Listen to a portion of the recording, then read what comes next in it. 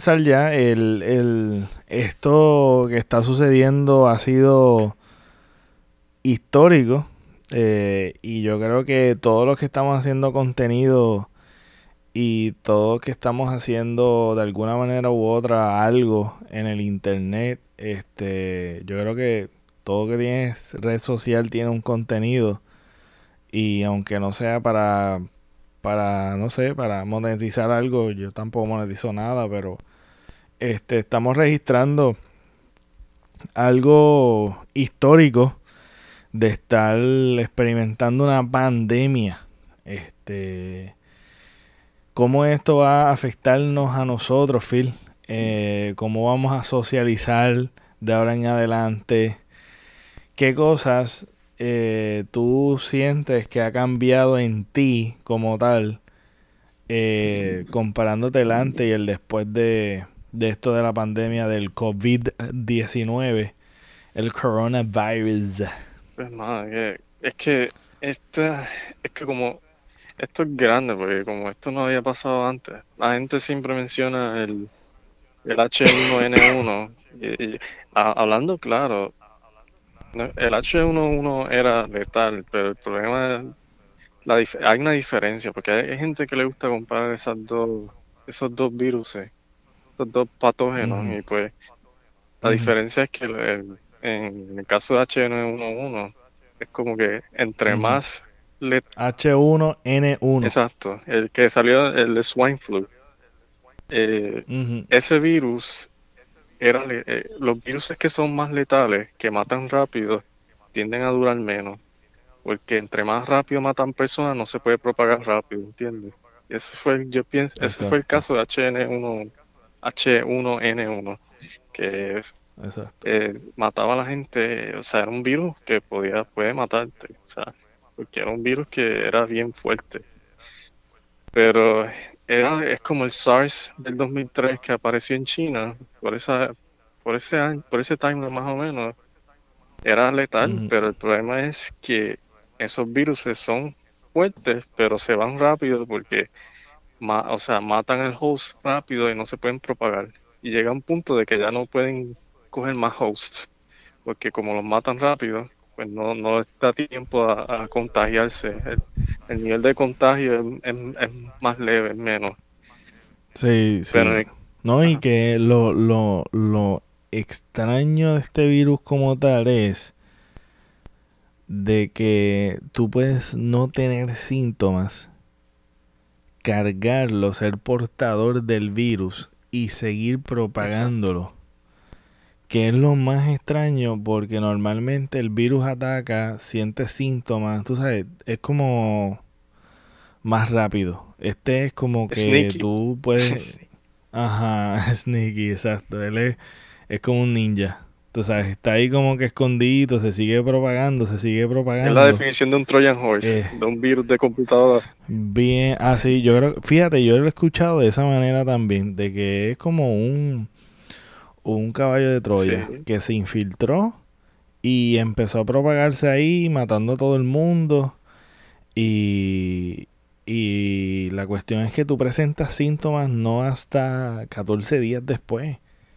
Que es como que bien impresionante como el comportamiento del virus. Es algo obviamente nuevo. Y, y al no tener, como es algo nuevo, el no tener una cura, no tener un tratamiento, no tener vacuna ni nada de esto, eh, pues hemos ido al principio de, de lo que es el virus, cómo tratar los virus y bacterias, que es el higiene. El higiene, el distanciamiento, porque como tú no sabes, el distanciamiento social es algo como que se está hablando demasiado, se está hablando mucho y por buena razón. Ajá. Este, una de las cosas es que este tienes tienes que guardar distancia porque volví y te digo, es como un ninja. Él se- él se- tú, tú puedes seguir propagando eso Exacto. y, y el misterio de que no, no tenemos no tenemos cura, él sigue por ahí, el virus sigue por ahí, es un vir, un enemigo invisible. Este eh, tenemos que cambiar nuestra manera de ser, de estar abrazándonos, saludándonos, este, los, las actividades masivas se tienen que evitar. Y como se propaga tan rápido, tan, tan súper rápido, tú sabes, si tú le, ves, le diste la oportunidad, no lo contuvo, no, no se contuvo en donde se surgió el brote, los gobiernos como que no vieron venir esto. Y todo esto, todo ha sido por el juego político, el estar pendiente a la economía. Y mira, ahora mismo ya es inevitable ya es inevitable y ya se tiene que tratar con medidas extremas afectando la economía, afectando el flujo económico, este que a todos rasgos esto es una fantasía que le hemos dado valor. Esto de la economía y el dinero y todas estas cosas son son absurdas. Ahora tú lo ves así por el por y estoy yéndome obviamente en el plano moral de que pues la vida vale más, mucho más que la economía. Pero sabemos que pues es, la realidad que vivimos y tenemos que vivirla así en esta fantasía de la economía, la, estructura. E-, ese es el problema también. Es como que si lo pones de un, si, si lo pones de, si te vas de una perspectiva más fuera de eso, es como que tienes como una balanza. Entonces, en una balanza tiene el virus y todas las muertes. Y en otra balanza tiene la economía desastrosa y, la, y el caos que va a desatar. Mucha gente se va a quedar en hambre, quizás otras muertes también, porque la gente se va a poner agresiva, va a empezar a, ver crímenes. Es como que es, difícil, porque la gente dice, pues, obviamente, pues, el virus, eh, o sea, hay que proteger las vidas, sí, pero es como que el virus es como que lo rápido. Entonces la economía es de cualquier manera, o sea, y esto sigue prolongándose de esta manera, es como que vamos a estar en esa balanza. Entonces, si una se cae, es malo, y si la otra, también, porque y el virus, si priorizamos la economía por, por el virus, pues obviamente la economía no se va a caer, pero la gente va a morir. O sea, entonces en otras palabras. Y va a caer eventualmente, porque es que en verdad los afectados y la, el número de muertos tan pronto, tú sabes, porque todo está conectado, lo que es el sistema de salud, todas estas esferas sociales están conectadas. Es como yo estaba explicando y estaba hablando con alguien, con una, amistad, estaba hablando de, de que mira, tú no puedes eh, decir que pues como la pierna izquierda está bien, pues que se echaba la pierna derecha. Porque es que tú no puedes, tú no puedes decir, ok, eh, vamos a seguir normal, porque realmente este eh, todo está conectado, tú sabes, todo está interconectado y todo funciona. Uno, uno depende de la otra. Por más que sea indirecta o indirectamente, todos dependemos de, todas las esferas sociales dependen una de otra. Entonces, si la esfera, como la, la esfera de lo que es la institución esta de la, salud, eh, colapsa, va a colapsar lo demás, tú sabes, va a tener un efecto y va a tener un impacto en los demás. Es que eh, por, eso, por eso es que es difícil, porque es como que tú tienes eso, creo que tú dijiste, entonces es como, es como te digo, va a llegar un punto que o vamos a salir de esto bien o vamos a quedar en la balanza del de, el punto de no regreso, que sería de que tenemos que escoger una de esas dos. Pero ambas van a ser malas para nosotros, porque una, obviamente va a haber una que es más fuerte que la otra. Lo que pasa es que una va a ser más lenta y otra va a ser más rápida. Pero si no se hace nada, si la gente sigue siendo estúpida, vamos a seguir llevando ese camino de, las dos de la balanza, perdón. Y entonces como que, por ejemplo, vamos a suponer en un escenario que vamos a priori priorizar eh, al revés. o sea, vamos a, a hacer lo del virus y que se joda la economía, suponiendo. Y vamos a darle bien duro al virus. Tenemos que encerrar a todo el mundo por, por siete meses, vamos a poner un año el problema es que, suponiendo suponiendo, esto es un estimado, un año es bastante, eh, pero es, un ejemplo. Suponiendo que estamos en cuarentena en lockdown y estamos en distanciamiento social y todas esas cosas por un año, la economía va a colapsar de una manera que prácticamente que cuando si es que salimos de eso, que, que ya se calma el virus en ese, en ese aspecto, va a ser fuerte porque la gente va a estar en la calle, los negocios todos se van a ir a quiebra, mucha gente no va a pagar sus deudas, entonces como que eso va a causar un caos, o sea que la gente no se imagina, porque la gente está, ok, la gente está pensando en el virus, y, es verdad, o sea, el virus hay que darle prioridad obviamente, pero yo, yo estoy viendo de que ambas, si llegamos, si seguimos así, va a llegar a ese punto. Entonces, ¿qué pasa? La economía se colapsa, entonces eso va a causar crímenes, va a causar revoluciones, va a causar muerte eventualmente, porque la gente va a empezar a matar y a robar y a, y a joder, ¿me entiendes? Va a haber caos por todos lados. Va a haber caos. ¿Entiendes? Porque es como la depresión de los 20. La depresión de los 20, eso fue un caos en Estados Unidos, una cosa bien fea. Gente durmiendo en la calle, gente que fue horrible, o sea, gente matando a otra gente, eso parecía el Wild Wild West, eso allí. Entonces, como que eso es lo que puede pasar si, si llegamos a ese punto de que la gente no quiera escuchar y llegamos al punto de la balanza. Que esa balanza, pues tenemos que escoger una de las dos. Y como quiera, nos va a joder. Una de esas dos opciones nos va a joder anyway.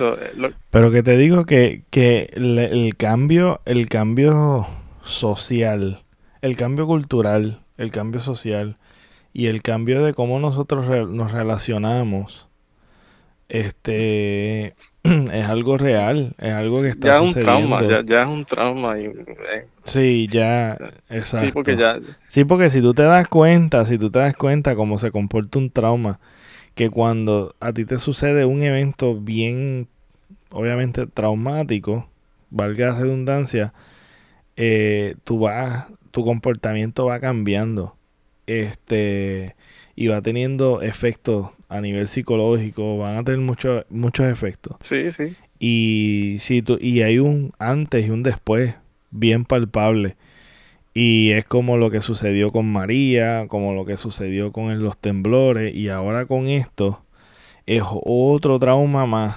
que nos carga y nos cambia el comportamiento porque ya llevamos varios días en cuarentena y y ya y tú sabes, ya cuando nos vemos con alguien ya no nos saludamos y tal vez tenemos el deseo de saludarnos, de abrazarnos, pero ya hay como una, ya nuestro, nuestra mente ya está reprogramada, básicamente. Y ahora nos hemos reprogramado por el trauma que estamos experimentando. Eh, porque ahora es un aspecto importante, lo que tú dijiste es, perfecto, porque eh, yo pienso que ese es otro aspecto que la gente no está viendo, de que esto de, reprograma, la reprogramación y el, condicionamiento de estar alejado y, sospechar de las otras personas, va a llegar a un punto cuando la gente se encierra y está viendo noticias o está viendo cosas, la gente se pone peor, hermano, porque eso las afecta. Eso, estar encerrado, es más a mí, tú lo sabes muy bien, yo y tú hemos sabido muy bien lo que es estar encerrado con pensamientos así. Y eso eso destruye, eso vuelve a la gente más loca. Entonces, como que eso no es saludable para una sociedad, ¿entiendes? Porque como seres humanos somos seres sociales, ¿entiendes? Entonces, este, este virus lo que hace es como que de sacarnos ese elemento de nosotros, ¿entiendes? Entonces, como que eh, es difícil, porque lo es. Y eso que tú dijiste es perfecto. Es, otro, yo lo pondría igual que en el mismo aspecto de la balanza. O sea, porque es que el trauma es real, porque hay gente que, que, ya está como que, y no, y no es que sea miedo, es, como que es un instinto de nosotros de sobrevivencia. No sé si tú me entiendes. es como que, sí, de supervivencia, exactamente. Sí, no, claro, estamos a la defensiva eso de la confianza, no confiamos el uno del otro, está sucio, tú sabes, como es, eh, es la incertidumbre, el aislamiento, la falta de afecto también, que pues a mí, por lo menos a mí me hace falta mucho abrazar, tú sabes, y yo creo que ese aspecto humano de, de uno abrazar, de uno...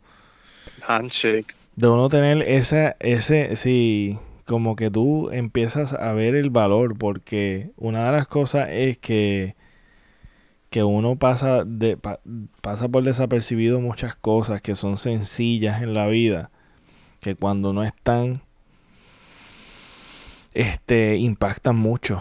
Y tú dices, wow, esto yo, de verdad, ah, este, espérate que, mala mía, el que esté escuchando este, Revolu me pasó algo con el cable. Así que, ok. Pues ese, ese aspecto, ese aspecto que, que tú dices, wow, esto yo lo tenía, ahora no lo tengo, que mucha falta me hace. Cuando uno se enferma, que uno dice, wow, me, no, los pulmones no me están ayudando o no me no están funcionando bien, que mucha falta hace estar normal.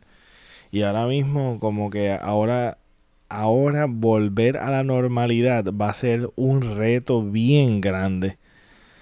Va a ser un reto bien grande porque el virus no se, no se vence por la cuarentena. Se controla. Se previene más la propagación. Hello. Ajá. Ajá. Pues la, la propagación, pensé que te había ido. estoy aquí pues la propagación eso lo previene. Entonces, el volver a la normalidad, ¿cómo sería? ¿Cómo va a ser volver a la normalidad? Porque esto en 14 días no se va a resolver y no creo que sea saludable comenzar de nuevo. De repente toda la normalidad, como eso no funciona así. No funciona así. Y yo, yo estoy escuchando eh, rumores de que, de que las cosas van a tratar de volverse así, este eh, el presidente de los Estados Unidos, Donald Trump, estaba hablando de, de querer, tú sabes, que esto no puede continuar así, que hay que practicar distanciamiento social este, con las cosas normales, la economía tiene que seguir. Y eso no, no es así, tú sabes, tú no puedes volver a prender las luces de cantazo, tú sabes, tú no puedes tú sabes, como si fuese un switch, como que ah, ya las cosas están normales, vamos a seguir todo es normal. Que, tú sabes cuál es el problema, o sea, el problema es, el, yo pienso que el problema de todo, porque llegamos a este punto, es la gente.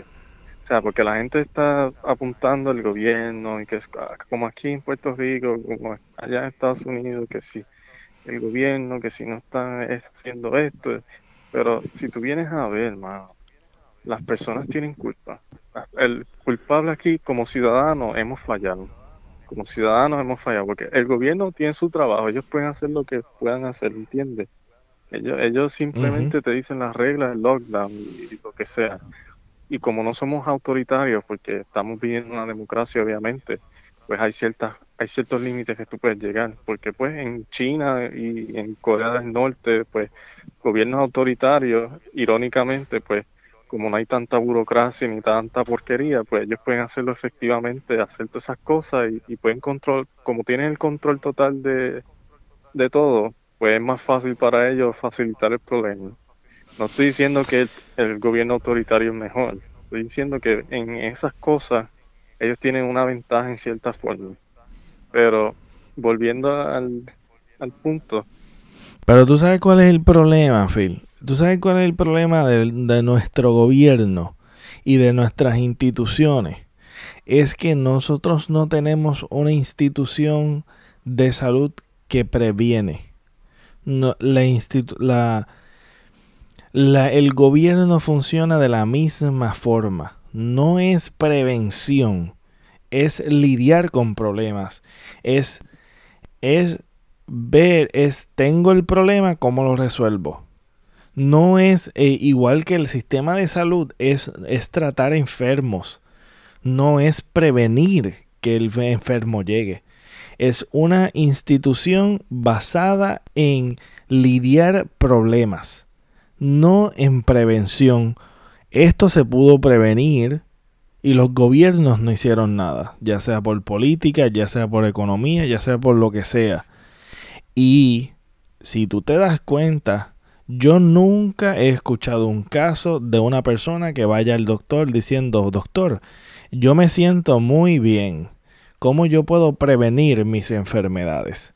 No, el paciente va al doctor porque tiene una dolencia, porque tiene unos señales, unos síntomas que están impidiendo que esa, esa persona funcione.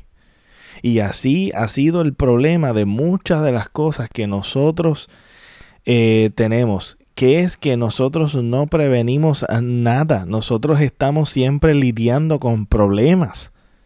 Y este gobierno pudo prevenir que esto sucediera. Ya estamos remediándolo, perfecto, no hay problema. Sí, pero el problema, la, el problema también, yo, yo digo que el problema de la gente es que, o sea, ellos saben, o sea, supo, si el gobierno, la respuesta estuvo mal, eso estoy de acuerdo.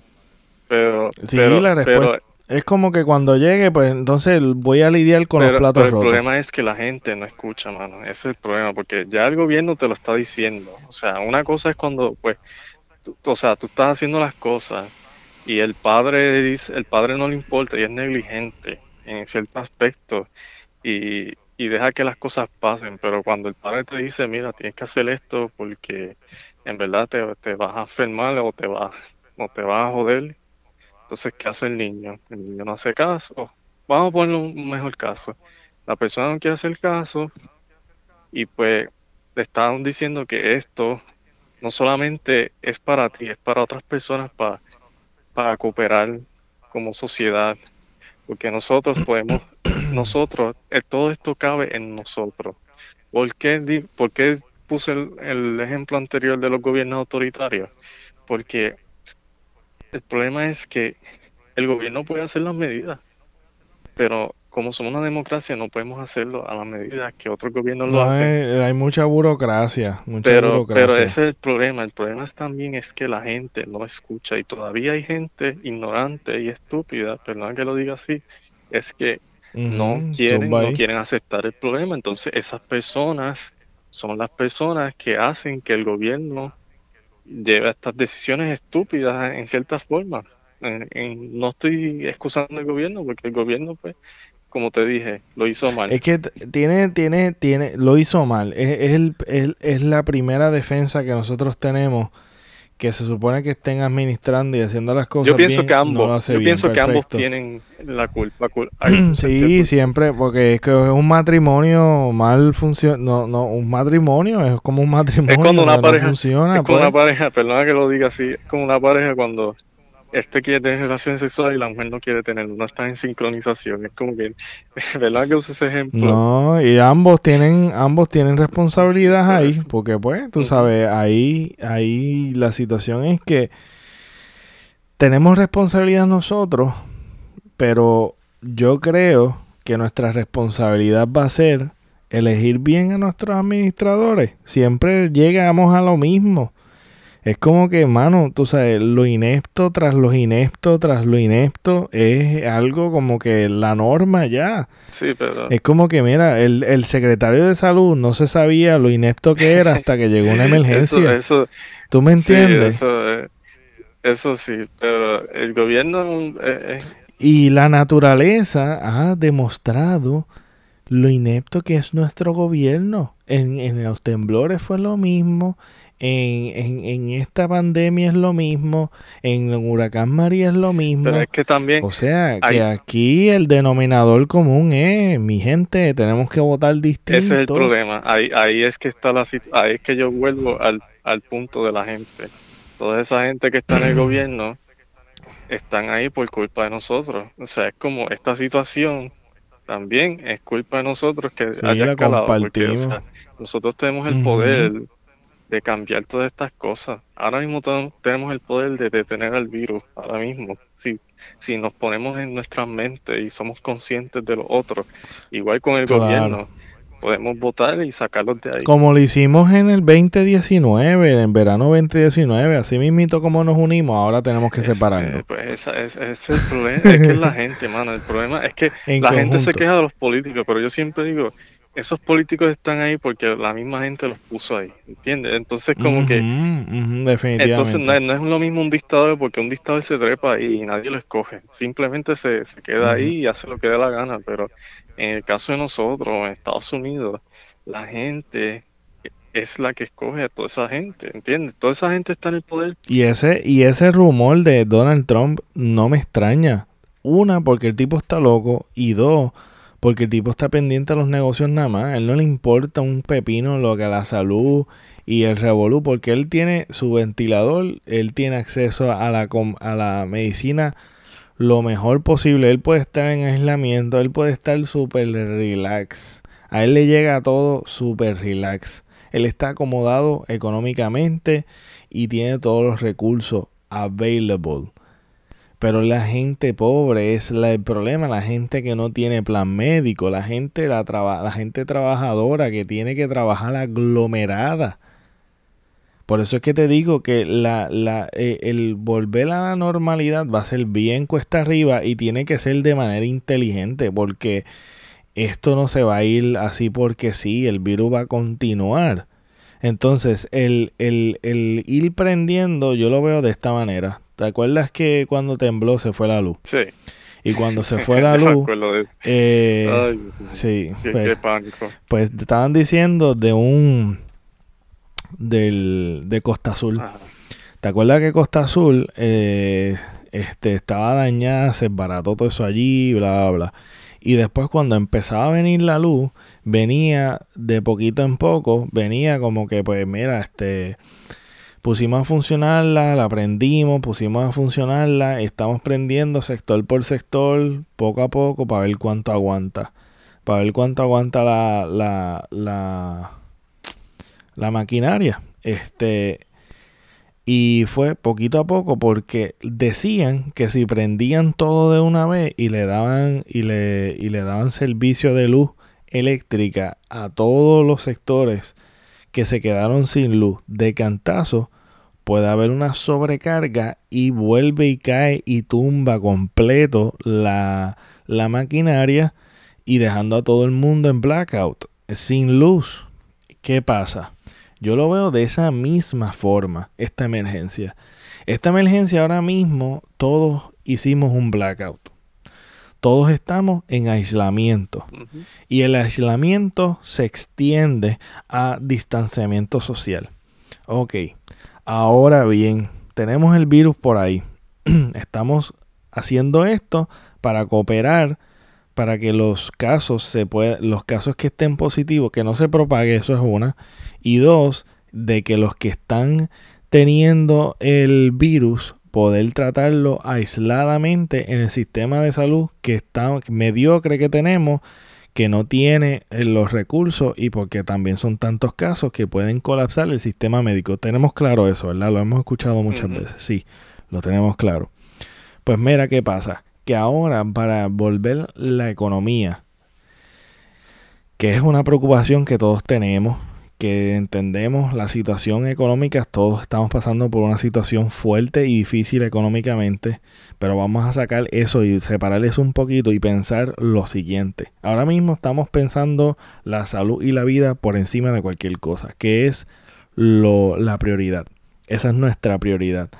Para restablecer las cosas a la normalidad, tiene que ser como hicieron en Costa Azul tiene que ser de poquito en poco. Porque si tú pones a toda la sociedad a funcionar normal, va a propagarse de nuevo y va a ser peor el impacto tanto en las vidas que va a cobrar, tanto en la economía también, porque se va a afectar muchísima gente, se va a seguir propagando de manera, de manera incontrolable y va a tumbar el sistema médico, va a colapsar el sistema médico y vamos a, afectarnos todos nosotros, infectando también posiblemente a nuestros familiares, que después de una cuarentena que todo se fue eh, eh, atacando, todo fue, eh, pues nada, normalmente se fueron infectando, infectando, infectando, pero se pudo ir controlar se va a ir fuera de nuestras manos. Esa es mi preocupación. Mi preocupación es que volver todo a la normalidad no va a ser posible de esa manera de repente, porque todavía el virus va a estar y va a tener que ser de poco en poco, porque el prender todo de cantazo puede, puede hacer un impacto fuerte en nuestra sociedad y va a ser de manera irresponsable solamente por estar pensando en las presiones económicas que ahora mismo es lo menos importante ahora, porque estamos hablando de vidas, de vida y muerte. O estamos viendo algo que, se, que es preocupante, que es algo que es una prioridad. Y esto se tiene que extender más. Y aún el impacto psicológico yo pienso que tenemos que innovarnos como sociedad, que lo estamos haciendo de manera en el entretenimiento, porque déjame decirte que yo sé que el disparo de creatividad de contenido de internet ha disparado, como dije al principio, ha disparado, pero te digo una cosa increíble, que yo sé que YouTube está explotado, las redes sociales están explotadas, todo, toda herramienta para poder entretener, para poder, ajá, chévere, nítido. Los negocios y, lo que es eh, tus negocios, lo que tú haces, ahora tú tienes que ir viendo de qué manera tú puedes innovar. Hay cosas que inevitablemente no se puede hacer por, por, pues por el internet, pero hay maneras creativas de tú continuar operando desde la comodidad de tu casa, desde, la, la, desde tu hogar, poder crear. Ahora ese es el reto de todos nosotros. Es como que, pues, yo no necesitaba tal vez, yo no trabajaba desde mi casa o tal vez no podía trabajar desde mi casa y ahora qué voy a hacer. Ah, van a haber muchas historias de esto, de, mucha, de muchos negocios, muchas cosas que se surgen artistas, muchas cosas, muchas personalidades. De todo esto que está sucediendo van a surgir muchas ideas, mucho, porque en la, creatividad y la creación es la madre, la, necesidad es la madre de la creación y la creatividad.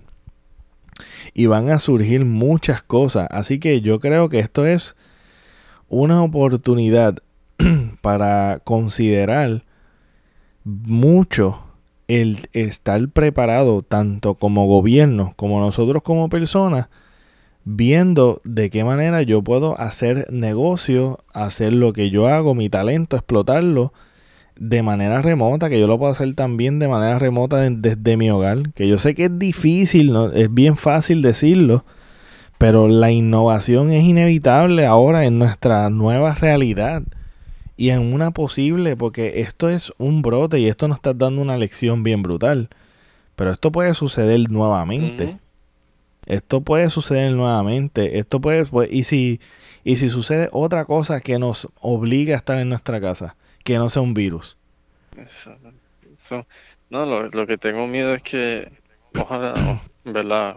Dios quiera que no, pero lo, lo, lo más malo es que que pueda pasar en, o sea, en nuestro escenario aquí en Puerto Rico es que este, esta cuarentena y de repente hay un temblor. Eso, es lo que a mí me preocupa mucho a veces. Uy, eso sí que, no, y, y, y, ¿verdad? Es que ningún panorama es bueno, ¿verdad? Pero, este, no estamos en época de huracán, ¿sabes? Tampoco. Eso es otra cosa que nos puede afectar también en un, eh, se aproxima a la época de los huracanes también. Exacto. Los temblores se han dejado de hablar, como tú dices.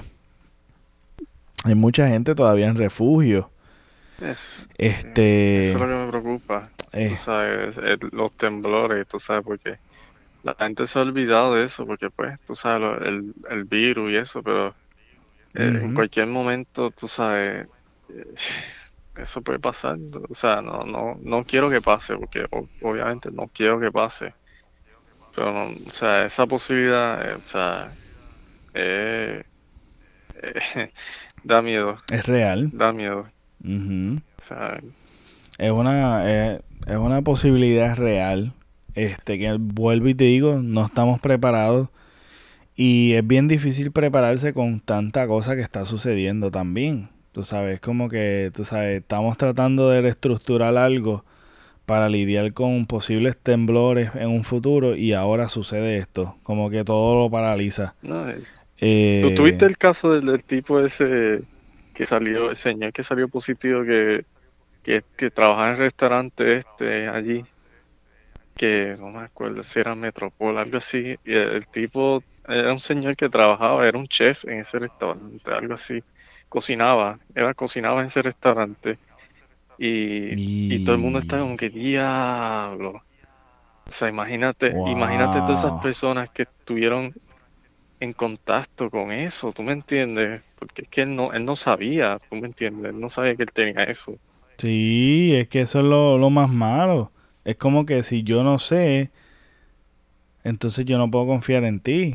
Yo no te puedo saludar ni darte la mano porque yo no confío en ti. Esa es la cosa. Este virus es tan malo que tú desconfías de tus familiares, desconfías de todo el mundo, tú no sabes quién lo tiene, es algo bien malo, psicológicamente esto te trabaja eh, sí, eh. y eh. te, te, te, levanta nuevos problemas tuyos, porque tú te pones en paranoia sí. y vamos a ponerle la gente que ya tenía problemas preexistentes ya de diferentes tipos de, de problemas de salud mental que hablamos tanto como que de salud mental, área de salud mental, este esto es algo, es algo que nos afecta de que puede estar todo normal, pero ya nos, han, nos hemos reprogramado y vamos a tener nuestro estilo de vida. Hay, hay la gente que no le importa un pepino, que esto no le afecta absolutamente nada. Pero a la gran mayoría esto le afecta de alguna manera de menor a mayor escala esto es algo, esto es una nueva realidad, brother. Estamos hablando, estamos durante nuestra herida, que nos están creando una herida, una reprogramación, todo esto. Este, estamos hablando y experimentando todo esto, son cosas nuevas y supuestamente van a extender esto más, que es lo que estamos hablando, por lo menos yo entiendo que lo mejor es extenderlo, nos guste o no nos guste, es lo mejor por nuestros familiares, por nuestra gente y por la salud y por la vida. Tú sabes que esta, esta paranoia, ¿verdad que compadre? Es que esta paranoia me recuerda a la película de Finn. Porque es que... Eh, eh, ah, diablo, qué película más mierda. No, esa. Tuviste que hablar de la película más mierda. Esa película está buena, esa es la de 1980. Esa. Ah, yo pensé que era otra. No, no, esa. Yo pensé que esa era es la película que yo te dije en el otro podcast de que las películas más de miedo, tú me viste que mencionara la, más favorita. Ah, pues, sí, pues sí, ok, ok, pero yo estaba pensando en otra película que fue bien porquería, yo lo vi en cine. Pues es que esa película es, igual a esto, porque en esa película eh, no es lo mismo, o sea, es más o menos lo mismo, porque era un, alien organism que actuaba como un virus. Entonces, la cosa es que era bien sneaky, entonces cuando tú, cuando, lo que hacía el virus era como que asimilar la persona y y hacer como que una réplica de esa persona en cierta forma. Ah, ahora me acuerdo de la conversación, sí, sí. Y es como que, o sea, como el virus. Es más, me estoy recordando una escena bien cómica de esa película porque el, el personaje principal, McCreed, McCreedy era, algo así, pues e, él vino y amarró a todo el mundo y, dijo, vamos a hacerle un test. Porque al virus no le gustaba el fuego, la criatura. Entonces cogieron un sample de blood de todos ellos y él los amarró con así a, a, cut point, así con la pistola ahí apuntándoles a él. Entonces como que él fue chequeando y metiéndole fuego. Entonces cuando salió uno positivo, empezó así a transformarse y todo el mundo, Y yo digo, así sería la misma reacción de la gente cuando alguien dice, tengo coronavirus. no, sé. eso sería, te digo, un buen meme. Pero es que actúa de esa, de esa manera, porque en fin es así, es como que bien sneaky, tú no sabes quién está infectado y quién no. Y tú te quedas como que hay esa paranoia, y como ellos están todos encerrados en un sitio en Antártica, en un research center, todo el mundo es paranoico, como que tú estás infectado, no, tú estás infectado, qué sé yo. Y eso me acuerda a esto, la situación así, porque el virus eh, opera de una situación, o sea, opera igual, como que es sneaky. Tú no sabes quién es, quién es who, quién, quién está infectado y quién no. Y uno está con esa mentalidad así. Es como si tuviéramos un sí. mundial. Así mismito es. Así mismito es. Así que ahora que será la nueva normalidad.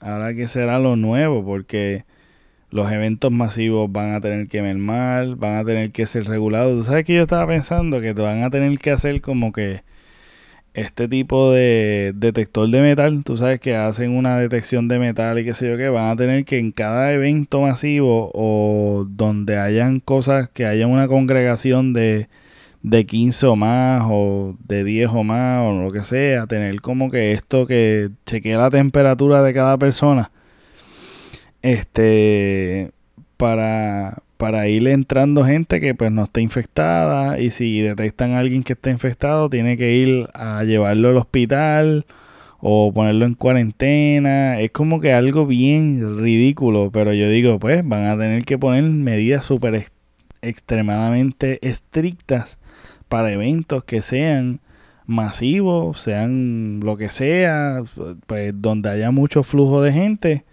tener que testear. Y eso es lo que están hablando, en verdad, es testear a todo el mundo. Es como que esto tiene que ser una... Todo el mundo se tiene que probar si está infectado o no está infectado.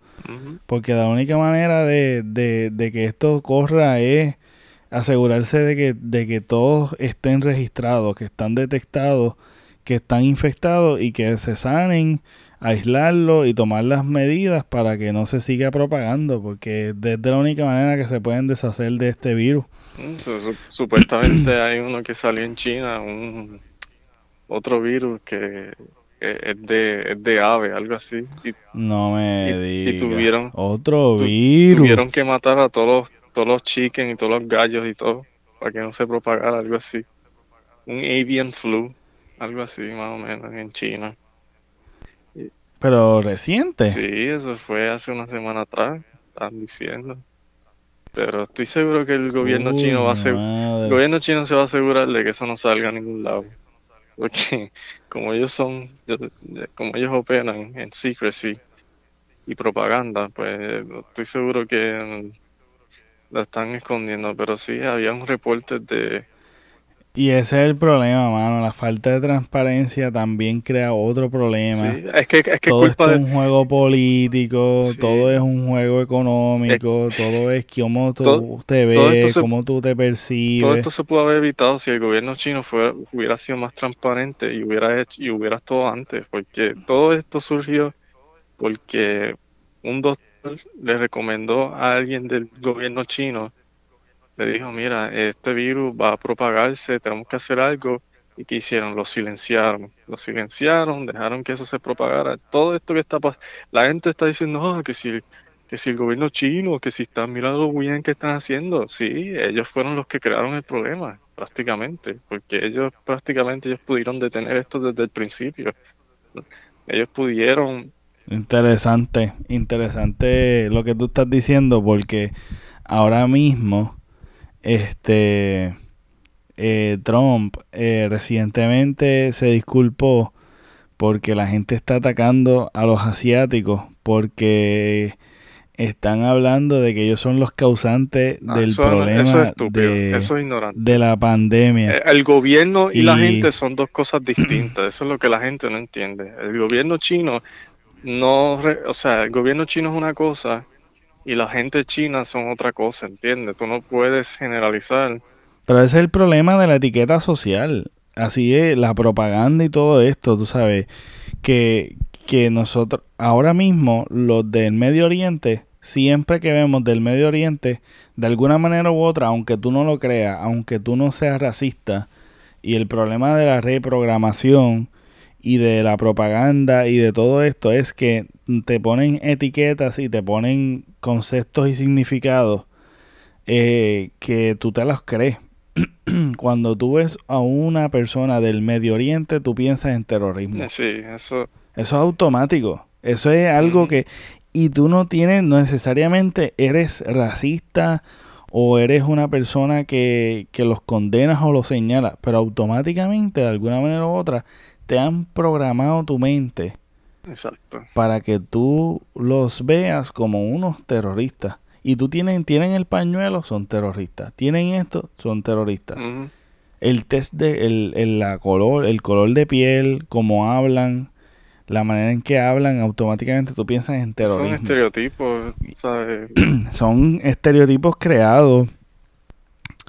Este, igualmente lo de los chinos. Ujú. Tú sabes, siempre el chino siempre lo asociamos con comida, con comida de gato, de perro y todo esto, que es una, que es una realidad, tú sabes.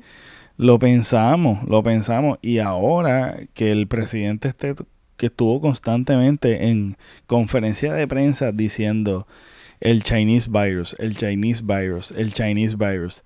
Y es como que esto no es el Chinese virus. Tú sabes, eso pudo haber sucedido en cualquier lugar y propagado en cualquier lugar. Y yo estoy seguro que si hubiese el brote, se hubiese sido igual de negligente. ¿Sabes por qué yo creo que si hubiese sucedido en Italia, hubiese sucedido en Estados Unidos, hubiese sucedido en cualquier lugar, estuviera pasando lo mismo? ¿Tú sabes por qué? Por la sencilla razón de lo poco, de lo, de lo poco preventivo que fueron los gobiernos al saber de esto desde diciembre de que surgió el brote, que se fue mundial, que eso se estaba hablando y llegó al, a, la, a América y fue y se fue propagando y la negligencia por, por cómo tú te ves, por el gobierno y por la burocracia que hemos estado hablando, esto ha sucedido por negligencia tanto del gobierno y también de la gente también porque no hacen caso tampoco como tú estabas diciendo que es otra realidad también. O sea que estamos jugando y estamos estamos eh, eh, estamos lidiando con muchas cosas a la misma vez muchos factores a la misma vez lo complicado que es.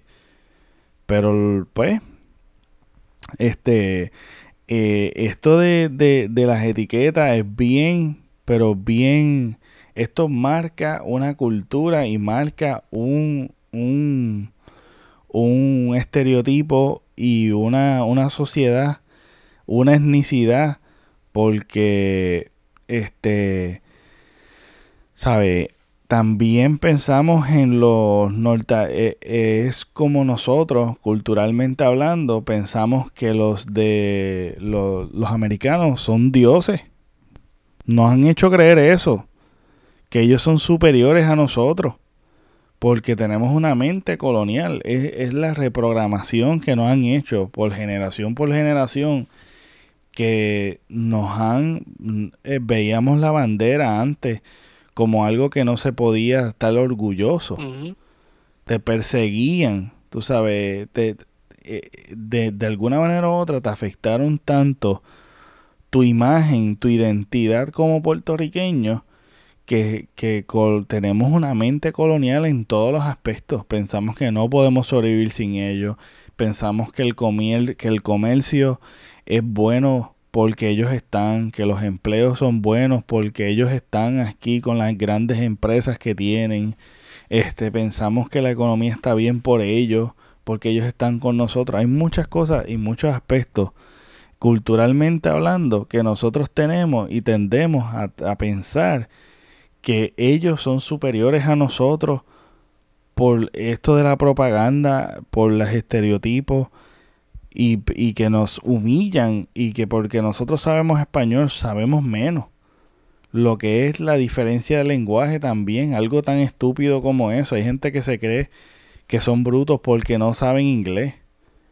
Ahora esto ha cambiado mucho porque nos han tratado como mierda y hemos llegado y hemos tocado fondo y hemos visto la realidad. Pero todavía ese pensamiento permanece y todavía sufrimos y cargamos la, la herida de ser, de ser colonia. Eso tiene un impacto, ha tenido un impacto.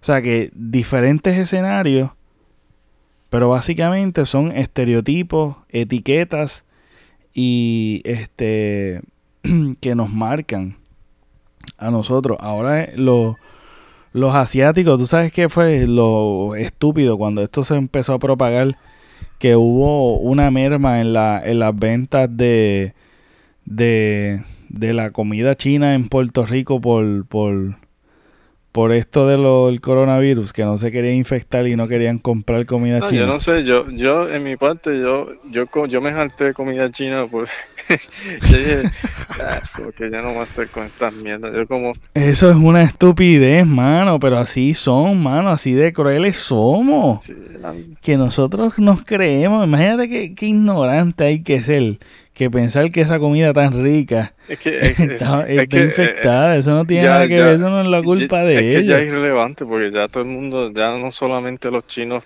lo tienen, todo el mundo lo tiene, ¿entiendes? Ya, eh, si alguien está con estupideces así, en verdad es una ridícula, porque es como que ya, y, y aunque fuera, aunque fuera como yo te dije, como que eres estúpido, de cualquier manera es estúpido. So, yo, yo por eso, y tú crees que si tú estás trabajando en un restaurante y están hablando de, del- de- de un virus así, ¿tú crees que yo no voy a ser limpio? ¿Entiendes? Yo, yo, o sea, obviamente, Sí, claro. obviamente tú vas a ser limpio, o sea, y no importa si es restaurante chino o no, ¿entiendes? Siempre hay, aunque no, no, no te lo voy a negar, hay restaurantes chinos que son medios puercos, eso no lo voy a negar, porque es una realidad también. Imagino que hay cierto grupo de personas que piensan que es difícil, pero la comida puertorriqueña es lo más fácil de hacer y, y no, no requiere que tú seas un sus chef o algo así, ¿entiendes? Puedes- Esa, bueno, depende, depende, pero sí, si tú vas a lo más básico y tú fuiste criado y pues eso es, eh, vuel- vuelvo y digo, no es que sea fácil o difícil, es que si tú estás en, en un restaurante, se supone que tú sepas cocinar. Exacto. Es como que si tú estás en una industria, si tú estás en una industria de estilismo y no sabes de estilismo, no sé por qué estás en la industria de estilismo. Eh, no hace sentido. Si tú estás en la industria de, de- tú sabes, si tú te vas a meter en la cocina y en la, por lo menos tienes que saber cocinar. Arroz. Y si tú vas en lo más, lo más básico, mano, y tú no sabes hacer un buen arroz, habichuela, cosas bien básicas. Sí, eso es de la comida puertorriqueña, tú sabes, y dependiendo, ¿verdad? Porque hay diferentes restaurantes, los chinchorros, exacto. este, si tu concepto es ser un restaurante fino, que ya es un poquito más sofisticado, o algo regular, una cafetería, pues ya son los niveles distintos, hay diferentes niveles dentro de la, dentro de las artes culinarias, pero mi hermano, tú sabes, si tú no sabes cocinar lo Pero, básico eh, está... Explícame, por- está- porque cualquier restaurante que sea puertorriqueño o que tenga Puerto Rican cuisine, cuis- lo que sea, y yo pido arroz y el arroz sale amogollado, eso you fail. You fail at Puerto Rican, en verdad. Que es que eso es bien, porque mano, yo, yo fui a este hotel, en- creo que fue, en- fue, fue, en Río- fue en Dorado, creo que fue, no me acuerdo si era Miramar o algo así. Yo fui a este hotel y, pedí- y, pedimos puertorriqueño, pedimos como un arroz con gandules. Papá, yo creo que eso lo hizo un, eso no lo tuvo que hacer un puertorriqueño, mano, porque es que no, no quiero discriminar porque yo sé que hay gringos que lo hacen bien, pero es que el arroz, mano, un- el amogollado, eh, o sea, amogollado es poco, va a decir. Yo creo que eso, el, máximo nivel de amogollado que tú puedas ver en un arroz, que es bien pegajoso, aplastoso, así, parece pega. Ay, mi madre, qué desastre. pega, madre, tú, tú la coges, desastre. tú lo coges y, y- y- y- y es bien sticky. No hay cosa más mala que tú tener ganas de comerte algo y que te sirvan una leñería. Eso sí que es malo con cojones, mano. Tú tienes que tener alguna experiencia de Es eso, malo, además de arroz. Tú tienes que tener eh, una Uy, expectativa. No, no, no, no, mira. Yo, es- y, eso me- y eso a mí me pasa también yo. Tú sabes, yo cocinando. Yo cocinando, yo me acuerdo de haber querido comer, no sé cuál, eh, el plato en específico no me acuerdo, pero vamos a poner un ejemplo. Chuleta con arroz y yo no sé qué. Ajá. Este, y me acuerdo que la carne, creo que era chuleta. Ah, ahora me acuerdo. Eran chuletas y papitas fritas. Yo iba a hacerme eso, chuleta y papitas fritas. Entonces son de estas papitas congeladas y, y las puse en el horno. y estaba haciendo las chuletas y me volví haciendo otras cosas, mano, se me quemó todo. Yo me molesté tanto, me molesté tanto, tanto, tanto, que terminé comiéndome un conflé y acostándome a dormir. de lo frustrado y molesto que yo estaba. Porque tú no sabes lo malo que es que yo, deseaba eso, ese, esa chuletita bien frita, me la estaba imaginando de una manera, las papitas doraditas, con ketchup, bien chévere, o un barbecue o lo que sea. Y yo me estaba imaginando el plato ya yo tenía el deseo de ese plato. Yo tenía todos los ingredientes, tenía todo lo que necesitaba para el plato. Que era algo bien sencillo. Por un descuido se quemó todo. Y la frustración de que ya no tengo, tengo que descongelarla. O yo no sé si yo no tenía, yo, yo no tenía chuleta o se me acabaron las papitas o algo que yo decía, volver a pasar lo mismo y con la hambre que tú tienes, el antojo que tú tienes, el plato que tú querías y no tenerlo, o que se te quemó por un descuido lo que sea, terminé comiéndome un, plato de, de un, un y me acosté a dormir de lo molesto que estaba. Yo dije, ay, mira, ese para el carajo. No vuelvo a cocinar con mierda que eso sí que molesta molesta, tú no sabes cómo. Ay, madre, es que... Eso, y en el restaurante es lo mismo, es como que, ah, estoy pensando en, voy para Chile, quiero comerme unas costillitas, que si yo no sé qué, voy a Chile y la costillita es bien mala. lo, lo, peor es, lo peor es que te esperes tanto tiempo y después te salga una porquería. O, o, te, o te sale una porquería de que sabe mal, o te da una cantidad bien, bien tricky que tú te quedas con que o como un estúpido te pones a inventar y poner a pedirle otra cosa que no normalmente tú pides, a ponerte a probar y lo que tú vayas a probar es una mierda, o sea, bien malo. Eso, eso son experiencias malísimas, hermano. Eso sí que es lo peor, hermano. En un restaurante que tú vayas a querer algo, o por lo menos tú sabes, yo siempre me voy safe. Esa es mi manera de ser yo voy al restaurante, ya yo sé más o menos lo que yo voy a pedir. Y si es un restaurante nuevo, me voy por una línea que yo sé que no me voy a equivocar. Porque no hay una cosa más frustrante que comer algo que no te gustó y te, fuiste lleno de algo que no te gustó. Porque también es otra cosa, es como que tú estás pagando por ese plato. Este, y como que pues, uno siempre, yo no soy de las personas que devuelve el plato al menos que sea algo como que, de verdad que está malo, está bien malo y hay que devolverlo. Pero si, pues, pedí algo, no me gustó, yo no lo voy a devolver. Tú sabes, como que, pues, no me gustó porque soy, soy mañoso, no me gustó el plato porque no me gusta lo que estoy probando nuevo. Pues yo no lo voy a devolver, pero me lo voy a comer. Entonces, si me lo como o me como parcialmente el plato, me voy satisfecho. ¿Entiendes? Y no hay mejor cosa que tú ir a un restaurante y tener una experiencia, porque tú estás, además de tú comer el plato, tú estás pagando por una experiencia. De sentirte bien, este... Eh, la, la, experiencia de, de, la comida, los momentos con las personas que tú estás compartiendo, son muchas cosas. Son muchas cosas que, que a mí me gusta mucho comer. o sea, de las cosas que me gustan. ¿Qué, qué tal de una experiencia de que tú estés en un sitio de pizza y cuando te sirvan la pizza, pues prácticamente tú te das cuenta de que algo está mal y cuando viene viene un pelo y cuando tú tratas de sacarle el pelo a la pizza, el pelo está la pizza está guindando del pelo. El pelo está colgando la pizza. Eh, prácticamente. ¿Qué tú piensas de algo así? Que tú lo puedes coger, tú puedes cogerla con el pelo y guinda la pizza. ¿Qué tú piensas de, de Horrible, horrible, horrible. Yo me, me hiciste acordar. ¿Tú te acuerdas la señora que vendía limber en la segunda calle? Diantre, hermano. Que yo me acuerdo, yo no sé si la señora estaba en un tratamiento o algo que, pues, no sé, Dios la cuide. Yo no sé si ella está viva. Pero, mano, ella, ella, ella estaba botando más pelo que un gato o un perro, mano. Porque te digo que el limber estaba lleno de pelo. Limber lleno de pelo. Un limber lleno de pelo, mi hermano. Que tú decías, diantre, no es uno. Es que estaban llenos de pelos, mano. Yo dejé de comprar, obviamente dejé de comprar allí, pero tú sabes, yo compraba porque eran buenos y no tenía eso.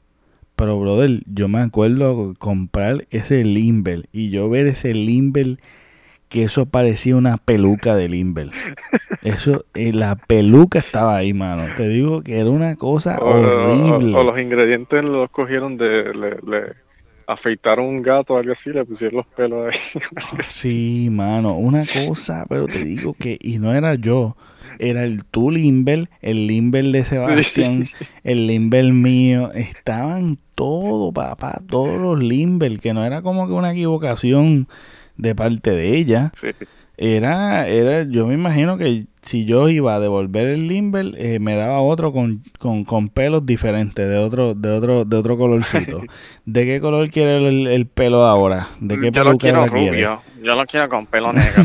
Eh, dámelo pelirrojo, a mí me gusta Sí, pelirrojo. mano, qué horrible. Pelirrojo. Las experiencias con pelo, mano. Como espagueti, el pelo Las como espagueti. experiencias con pelo. Y voy a cerrar con esta historia, caballo. Tú sabes qué experiencia yo tuve de que yo fui a un restaurante y el entremés estaba, eh, era diferentes carnes. Ah, eran diferentes carnecitas y era como un, pues, no, un entremés chévere, era como un restaurante medio fino. Este, eh, yo estaba comiendo pues normal y de momento cuando yo veo el entremés eh, yo veo algo moviéndose ah, en el entremés. ah, no puede ser. Y yo decía, ¿qué es eso? Porque tú sabes que tú a veces tú te crees que hay algo que se está moviendo, un Sí, celaje o algo. Sí. Pues algo se está moviendo. Y yo, mm. Mano, tú no me puedes creer que yo me pongo y me acerco y al plato y yo dije, no puedo ser lo que yo estoy viendo. No puede ser lo que yo estoy viendo, caballo. ¿Y ¿Qué viste? Era un gusano. Papá, era un gusano de esos de los gandules que son verdecitos. Ay, de- ah, wow, what the fuck. Brother, un, un gusano en el plato de entremés. Diablo, wow. Y tú puedes creer que la persona, cuando le dije lo del gusano, tú puedes creer que esa persona dijo que no podía ser que provenía de su cocina. Ah, sí, pues mágicamente eh, apareció. O sea que él, él se cree que yo tenía eso en el bolsillo y puse el gusano ahí. Mira qué cosa. Mira qué inepto. Eh, Ese restaurante no voy a ir más en mi vida. Wow. No voy a ir más y no voy a pagar por nada porque eso es una porquería y tú no me puedes decir a mí que eso fue que yo lo traje en el pelo y lo puse ahí. Tú sabes qué estupidez, mano. cuando, cuando, Contra, eso, eso es como yo digo, reconoce tu error. es un error. Eso, eso, el error más grande es cuando un restaurante eh, culpa a los customers por, por su ineptitud. Ya tú sabes que ese negocio es una basura. Es una basura, no, mi hermano. Y aunque no fuese tu error, tú te disculpas. Mira, disculpa, no sé cómo eso llegó ahí. Nada, no lo pagues. Mira, este, de verdad que lo- las bebidas no tienen que pagar nada. Si quieren algo de comer, que yo sé que va a ser difícil, se lo, se los doy por la casa o lo que sea. Ajá. Pero mi hermano, que tú me vengas a, a- a hacer, a tirarme las cacas a mí. No, mi hermano, no, no, no. Porque es que yo no tengo interés de traer un gusano en el bolsillo y ponerlo en el plato. El, estúpido, tú el sabes. gusano mágico de Pepe. El que, Sí, no, no, es estúpido, es estúpido, no, no, no, no, no. Y nada, este, el gusano especial. y ese fue, esa fue, ese fue mi historia en un restaurante, papá. Ya. Pero nada, gracias Phil por, por, por esta versión, edición especial COVID-19, coronavirus, que estuvimos hablando de esto, este, que no sea la última vez, que todavía tenemos muchas cosas pendientes que de temas que quería hablar y nunca hablamos. Sí, verdad, muy cierto. Este, pero nada, esto fue gente eh, todo por hoy y nos vemos en la próxima.